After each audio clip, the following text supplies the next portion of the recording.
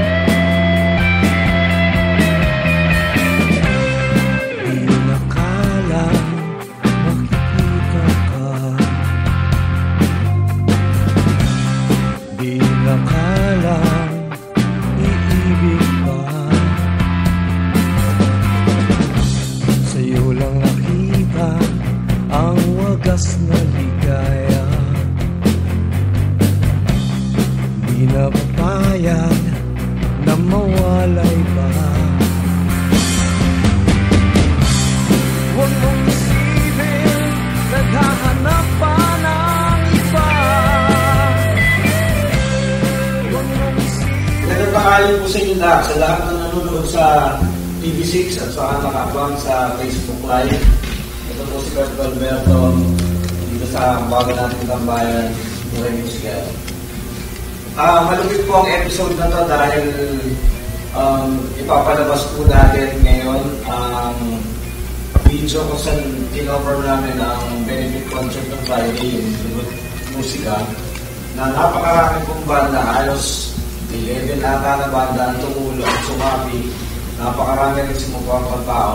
At isa pa, kaya special ang araw na to, kasama natin po ang vocalist, ah, guitarist ng The Storyteller Project. Um, siya rin po ang gumagawa ng kanta nila.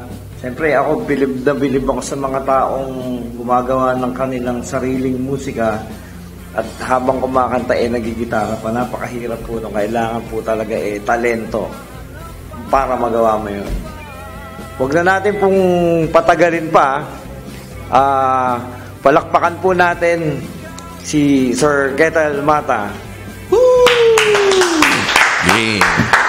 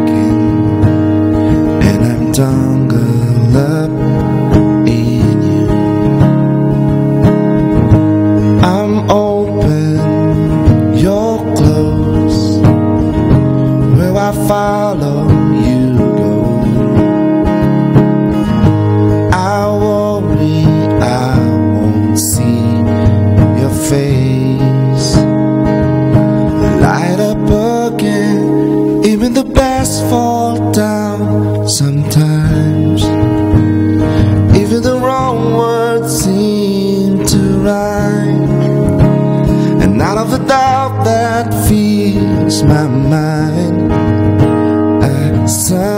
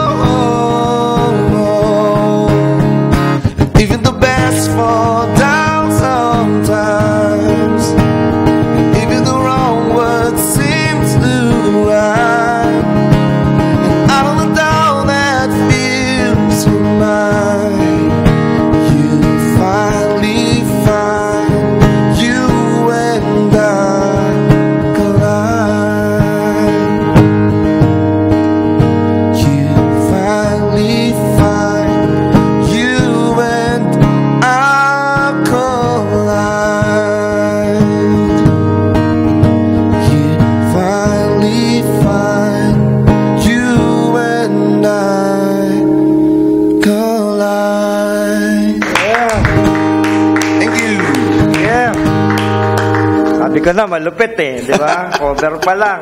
Kulay na agad. Pare, kamusta naman ang biyahe papunta dito galing Antipolo? Matraffic sa area namin, pero sa inyo wala. Sobrang luwag. Bilis lang. Oo, kasi Paglabas- wala mga jeep ngayon eh, no? Parang eh, oo, tama Oo, ka. kasi tigil pasada pa rin dito. Correct. Sa Manila ba, ganun, tigil pasada rin sila? Tigil din. Kaya wala masyadong traffic yung area na alam mo na dinadaanan ng public. Pero yung private na daanan, traffic pa din. Ah, teka, pakilala ka muna sa mga, siyempre, sa mga tao na nanonood sa atin sa TV6. Alam kong sa FB, eh, marami nag-aabang din sa'yo kasi chinek ko yung FB, FB mo, marami tayong mutual friend na mga musikero na. at saka mga followers mo. Ang dami. Sige, batiin mo Hello. sila, sir. Ako po si Ketel Mata. Ako po yung bukalista sa gitarista ng The Storyteller Project. Nandito po ako para i-share yung urig po namin na pinopromote. So, unang-una, thank you po sa inyo, Buhay Musikero, para sa pagkakataon na to. Yun. Ah, baka may babatiin ka. Batiin mo ng mga nanonood na followers mo. Ah, hi sa mga kaibigan ng The Storyteller Project. Magandang hapon ho sa inyo lahat. Sana umabot kami sa Laguna para, sige, imbitahin nyo lang kami, punta kami dito ulit. Para makajam ka sa amin dito. Pwede, sa pwede. Bandang South. Pwede. Ah, syempre, ano, question and answer portion muna tayo, no? Sige. Ah, naikwento mo sa akin, bata ka pa nung nag-start, eh, no? So, ano, ano ba yung nagpudyok sa'yo para pumasok sa musika, sa industry? Ah, si Erpat. Father ko kasi musiko siya. So, nagda-drum siya sa mga artists before. Tapos yung na-idea niya na isama kami doon sa eksena. Yun, isa-isa kanya kami tinuruan. Anong So, age yan, sir? ah, nagsimula kami sa isang instrumento na drums. Kasi drummer si Papa. So, lahat kami magkakapatid. Drums muna. Ano-ano ko nun eh. Parang four yata ako nun. Four years old? Mm, drums Pumapasok muna. Oo, parang yung- hindi naman ganun kano, pero at least marunong lang. Okay. Tapos, after that, nagpiano kami para sa pagbasa ng nota. Okay. Tapos, pagdating nung 8, 7, 8, yun na, kanya-kanya na kami. Kung anong gusto Pinapili nila. na, oh, sabi, anong gusto nyo instrumento, parang ganun. Ano yun ha? Ah, musically inclined ka, lahat ng instrumento, halos alam mo. Alam ko, pero hindi lahat, ano, yung gitara talaga yung pinaka-maro instrument ko. Parang Oo. mo Yung iba, ano lang, marunong lang. Siya rin na nagturo sa'yo paano kumanta. Hindi. Ang Sarili pinaka-singer namin noon, ate ko saka kuya ko. Pero ako, gitara lang talaga. Paano ka natuto na kumanta ng gano'ng kaganda? Hindi, hindi. Ang magaling kumanta talaga sa amin, kapatid ko. Pero Hindi ako, kasi narinig ko yung ano nila, narinig ko yung ano ba yun, kanta nila, mga komposisyon nila. Ang galing eh, parang mga thank side yung dati nga. yun na, yun na. Diba? Mismo mismo eh. Oh, eh ano lang naman, parang listening lang, tapos, yan, aral-aral lang konti. Pero, yung formal talaga na aral para maging singer, wala talaga eh. Gusto ko man, minsan humingi pa rin ako ng advice sa mga tropa na singer paano eh. Yung paghinga, pag, yung pagsalita, paano pinagkakaasya sa, alam mo yun, sa bara, gano'n. Tuloy-tuloy lang hanggang ngayon. Ano yan, sa- nasa province kayo no, nung nagsimula Oo. yung family. Dito kami galing sa Maynila, tapos nung binalak ni Papa turuan kami, umuwi kami ng Bohol. Bakit Kasi taga kailangan Bohol si taga doon si mama noon. Mas madali. Mas, ah, okay. Mas, di ba, kasi hihinto siya eh. Hihinto siya sa trabaho noon kasi gusto niya kami tutukan. So medyo mas mura sa probinsya kaysa sa Maynila. Pag huminto ka sa Maynila, medyo mahirap. Kaya may kamahalan na. So, correct. Oo. So, nung... Anong balak nyo no, nung tinayo nyo yan? Ano talaga? Ganun pa din. Parang, ano, mag... Babar, gano'n? oh, So, regular gig. Parang Parang gano'n. regular gig. Oo. Gusto lang niyang ma parang matuto kami. Tapos meron siyang vision eh na mga bata tumutugtog. Mga ganun. Ah, okay. Natupad naman yun. Oo. Nakaka... Kasi, ah, nag-gig naman talaga kayo doon. Eh? Nag-gig kami tapos may mga konting guesting din nun nung bata kami. Kung, ewan ko, kilala nila yun pero malamang tayo kilala natin. Fifth Dimension, nung nag-concert dito nun, nakasama kami. Tapos nung buhay pa si mga TV show na Jokerino, na Ages, mga ganun pare. Luma na eh, so hindi Mukhang na alam hindi yun. Na, hindi na alam ng mga Oo. kabataan yun. Oo, mga Si 80, Joker 88, 89, mga ganun yan. Oo. Tapos bumiyahe rin kayo, di ba? Bumiyahe din kami ah, kasama si Papa. Pero nung sa Singapore na kami, doon doon na wala si Papa noon. So tinuloy na lang namin magkakapatid. Sino na ang drummer niya nun? Yun na, mga tropa na taga Singapore noon. na tumulong sa amin noon. Kasi biglaan eh. So tumulong sila. Sila yung pumalit para pumalo. Parang ganun. Eh, sa, kasi di ba parang mga love song yung pondohan ng banda ng Project. Ah, sinong influence mo na sa foreign o sa local? Um, iba-iba eh. Mahilig ako sa sa local muna, no. Mga nag- naging kasama ko katulad ni Top Suzara, singer ng freestyle. Nung nag, naging gitarista ako ni Totop, yun, parang isa yung nag-trigger sa akin para gusto magsulat. Iba rin naman ang boss. Iba rin, iba rin. Saka yung sa kanya ko nakuha yung ano eh, na gagamit ka ng salita na, no, na kung ano yung ginagamit mo araw-araw. Huwag kang gagamit ng salita na dahil gusto mo lang malalim na salita kasi gano'n, di ba? Pero hindi mo naman siya ginagamit. So, mas maganda yung natural, parang gano'n. At least yung sa'yo, parang halos pareho sa family natin kasi ang pamilya nga natin puro musikero. Musikero. Hindi mo naramdaman yung kumontra sa'yo na kung natuloy yan, walang pera dyan. ba? Wala, wala. Walang ganun. Si Papa no, nung naging drummer si Papa, father side, lahat buong pamilya nanonood sa kanya. Kasi siya lang eh, lahat kasi mga lawyer, judge Ah, okay. sa Zamboanga. Oo. So, nung nalaman na musician siya, lahat yung suporta. Parang gano'n. Support naman lahat. Walang problema. Ngayon, dun, halimbawa, siyempre, yung, sabi ko nga, yung mga kanta niya, eh, mostly parang mga love song talagang pugod na higit eh. Saan nyo kinukuha yung inspirasyon na yun? Iba-iba. Yung ibang kwento sa akin mismo, experience ko. Yung iba naman, mga kwento ng mga tropa. Puro tropang, ano, parang, alam mo, hapdi ba yan? mga Depende, oh. Yung, yung, well, kung ramdam naman nila eh. Kunwari katulad nung pahiram. Di ba? It's obvious, obvious naman kung anong... Anong story? kwento ng pahiram, di ba, yung hindi mo nga hawak yung oras na dapat sa inyo.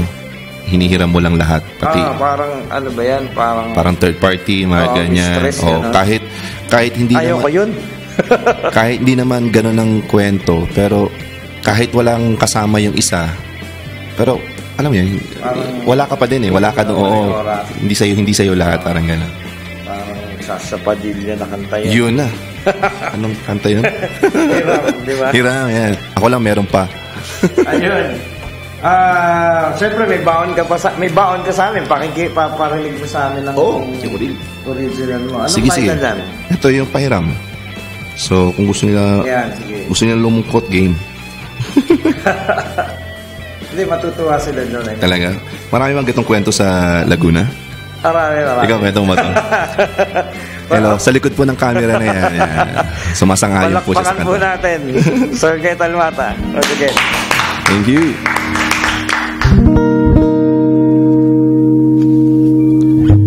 Para po sa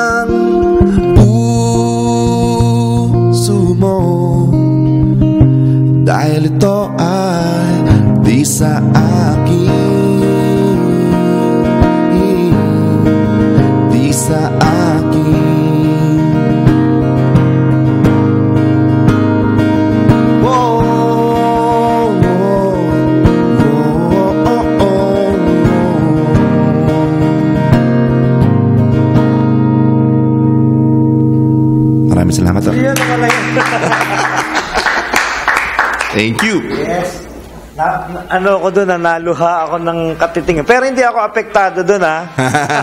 Oo naman. Kasi nanghihiram yun, eh. Nang- Nanghihiram, delikado tayo doon. Sa iba bumubu pa rin. Oo, sigurado yan. Maraming na maaapektuhan na mga manonood sa atin yan dahil baka May ganun bang kwento sa inyo? Kayo ng may mga may-ari na, delikado tayo dyan. Baka matokhang din kayo. Patay. Ayun Drugs ng pag-ibig. Sino gumawa ng kanta yan, sir? Ako, ako. Ay, ikaw. Oo. May hiniraman ka na ba?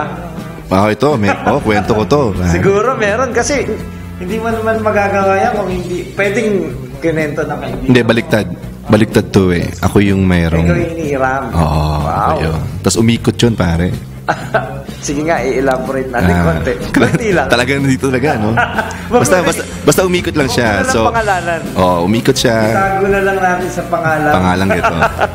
So, basta umikot. Ako yung unang ganyan. Tapos, siya yung bigla nagkaroon na tapos parang tuloy-tuloy pa din. So, parang ako na yung nakikihiram.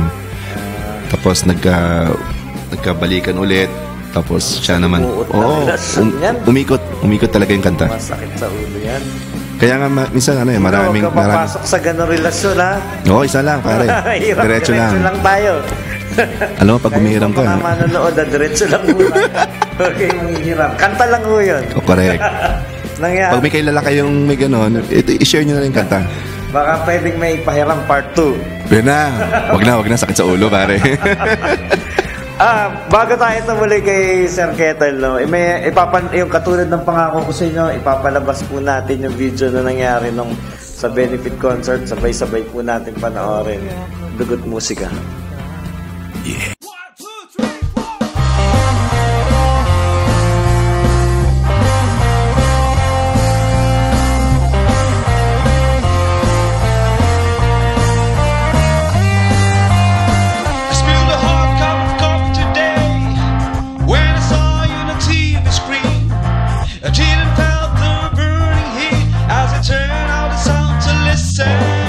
Kamusta po nga kayo lahat? Ito po si Pep Gualberto ng Buhay Musikero. Nakita niyo po ngayong gabi na ang dugot musika eh sobrang daming tao hindi natin maintindihan. Pare, tingnan, tingnan natin ngayon.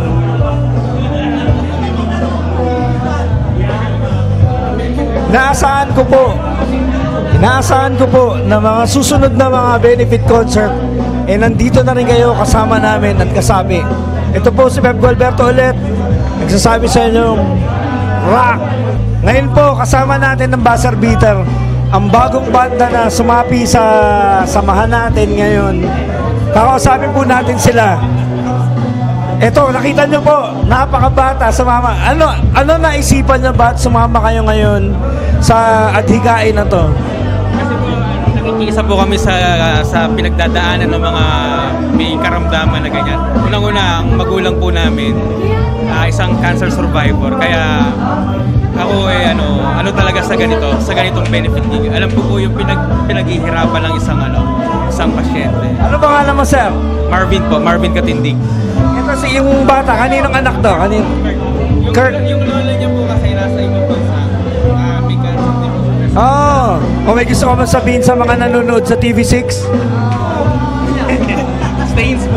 Stay in school. Stay in school. Ba't ikaw nandito ka? Walang pasok po kasi. Oh, may mga sasabihin ba kayo? Sir Les, maraming maraming salamat pare. Kasi si Leslie ngayon, ah siya yung kumontak sa akin para sumama sila dito sa event na to. Ah, baka may sasabihin si Boss Les. Salamat kay Kuya Pep sa event na to. Napaka ah, daming daming tao, daming congrats Kuya Pep, ang dami. Thank you, thank you, thank you very much. Th- Thank you. Okay, ito po, buhay mo si Kero, rock.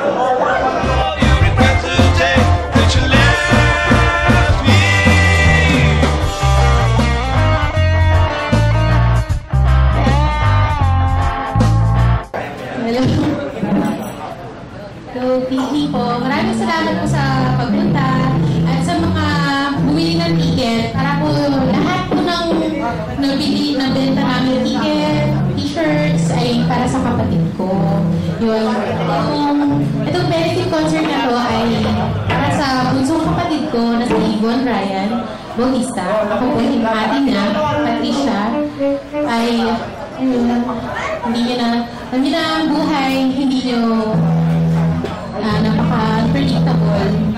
So, na-diagnose siya ng leukemia noong August 2, 2017 na. Um, so far, okay naman. Nakatapos lang nung first session din ng chemotherapy nung Wednesday. Okay lang siya, malakas naman siya. Naiingit nga siya kasi gusto niyang umaten dito kasi nagbabanda din sila ng mga tropa niya nandun sa labas. Um, kaso hindi siya pwede kasi immunocompromised. Bagsak yung immune system niya. So, ayun. Um, maraming gusto ko lang magpasalamat lalo kay Sir Pep. Sir Pep,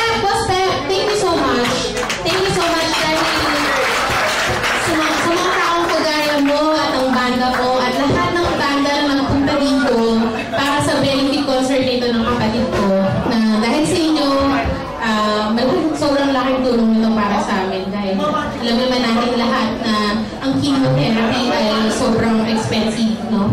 So, yun, thank you lang talaga sa mga adhikain na kagaya nito, na kagaya ni Sir Pep, ilang taon na ginagawa, marami na siyang natulungan. So, God bless you more, Sir Pep, at sa lahat ng banda, maraming maraming salamat po sa inyo.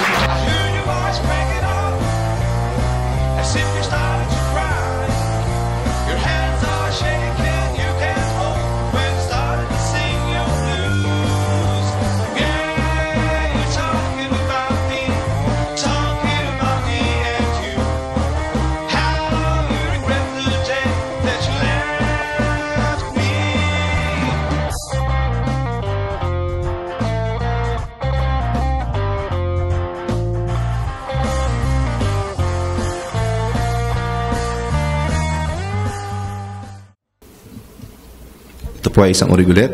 Title po nito ay Maybe This Time. Kung nakikita niyo, pinipindot ko. Effects lang po to. Here we go. Para po sa inyo lahat.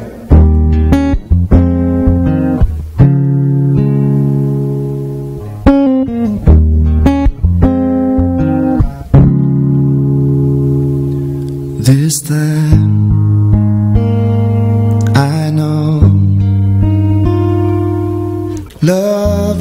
just go.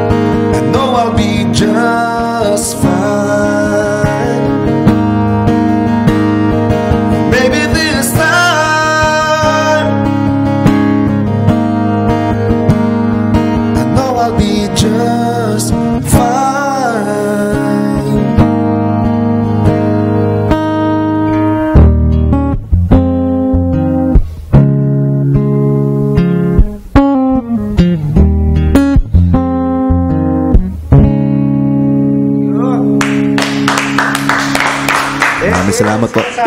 Sa inyo, pag nanghiram kayo, yan ang mangyayari, nagka-ending yung may gusto. Naghiwalay din ha, hindi hu- wala akong Correct, na, ano, correct. nagwawagi. Na nanghi- nanghiram. Nag-sermon pa eh, na parang pari lang na nandito.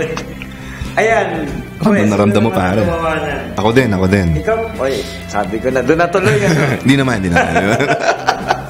Hindi naman.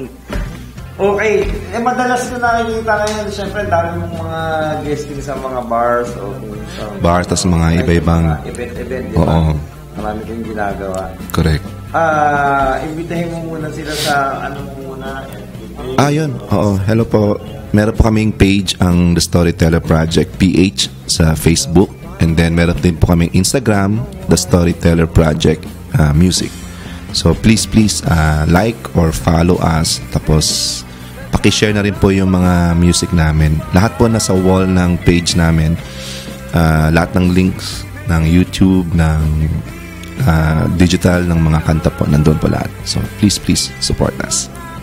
Eh yung ano, yung, di ba may CD na, may eh, CD, meron na kayong lumabas na mga mga album, di ba? Oo. Yung The Storyteller Project po. Ay, sorry. Ang kasama ko nga pala sa banda po ay si Roger Alcantara sa bass. And then sa drums po si Alan Abdullah. Wala po sila ngayon dito kasi medyo may ginagawa lang pong iba. Tapos yung kanta po namin, sabi nga ni Pep na nasa digital world po. Nasa Spotify, iTunes, um, yun, Maybe This Time and Pahiram by The Storyteller Project po. Saka meron kang project na ginagawa na naman ngayon, di ba? Na gusto mo, balak mo mag... Full band? Mag si gumawa ng CD. Yun yun. Ano, Oo. Kasi yung yung Storyteller Project siya, galing po siya sa album ko na solo, na acoustic album. So nakadalawa na po ako sa Spotify or sa digital. So The Storyteller Project Volume 1 and 2 under Kettle Mata. Tapos yung Storyteller na project na Volume 3, full band po siya. Na kinuha ko rin po yung pangalan as The Storyteller Project. Pero banda po kami. Yun yung ginagawa po namin ngayon. Yun. Sana eh, maimbitahan mo ako dyan sa recording Game, yan. game, At, ano, game. ah, Saan tayo magre-record dito? makapag-collab tayo. Ginawa recording studio to eh. no? Pwede. Um, Siyempre ito, gustong, gustong gusto ko kayong pasalamatan ng ah, road manager mo, di ba? Yung Kasama natin. Oh, si ah. Carlo. Maraming salamat sa pagsama dito, sir, na kahit malayo eh sa larangan ng musika, Walang traffic. ano, ah, nakapunta kayo dito. At mabuhay Tumawag pa nga ako sa iyo, di ba? Tumago ako sa kanya, sabi ko, pag ano ko sa Waze, 15 Ang minutes. lang. eh. Hindi Sabi mo ko yata ako. totoo, ba yun na mabilis lang? Yung pala akala ko kasi dulo. Mali pala. Hindi kasi tayo natatakot tayo pag antipolo ang narinig natin para sa atin Kasi yung sa traffic, hindi. Mas hindi, matraffic sa amin. Pero dito wala. Dito naman hindi. Kaya wala. sana maging ganyan din ang mga musikerong kabataan na masipag para sa kanilang... Oo, kailangan kasi Oo, wag tayong umasa na paglabas ng kanta, ganun na agad. yung kanta mismo yung gagapang. Tapi tayo yung gagawa ng paraan para marinig po nila lahat. Oo. Ayun yung makikita mo na hindi naman katandaan ng mga musikerong katulad natin na alam mo talagang masisipag at may Yes. ginagawa Kailangan, kailangan. sa pagbabago. Eh. So, kitang pasalamatan pare. Maraming sa salamat din. Dito. Um, meron ka pang kakantahin sa amin. Siyempre, maya-maya, Yes. um, Cover naman. cover naman ulit. Ah, Siyempre, papasalamatan ko muna ulit ang mga bandang tumulong sa amin ng biyernes. Maraming maraming salamat sa inyo. Ah, alam nyo kung sino kayo kasi kung iisa-isahin ko pa ho, eh baka bukas pa tayo matapos sa dami. So, sana sa susunod na buwan ulit, magkita-kita tayo ulit sa isang makabuluhang gabi na naman para sa pagtulong sa mga kapatid nating nangangailangan. Tapos, syempre, salamat sa Dekada Bar na pinagbigyan nyo kami dyan ginagawa ang benefit concert namin. Ah, hindi ko na rin patatagalin. Paki-like na lang ang page ng Buhay Musikero at saka ng Royal Cable TV6. Um, iiwan ko uli kayo kay Sir Ketel. Ito po si Pep Gualberto dito sa ating bagong tambayan, Buhay Musikero. Rock! Thank you.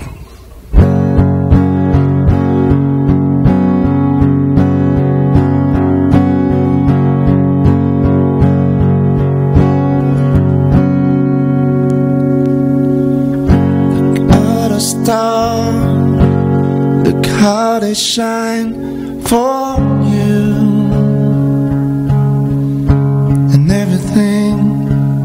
you do. They were all young. I came along, I wrote a song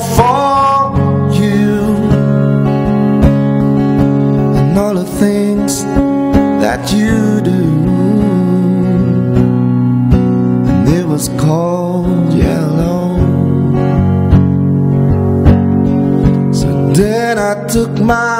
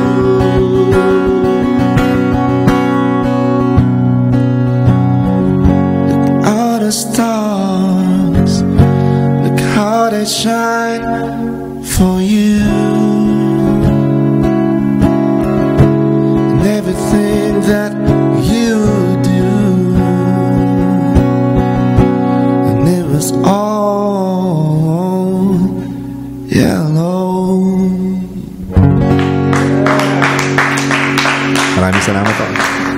Fine. Ayos, ayos. Salamat.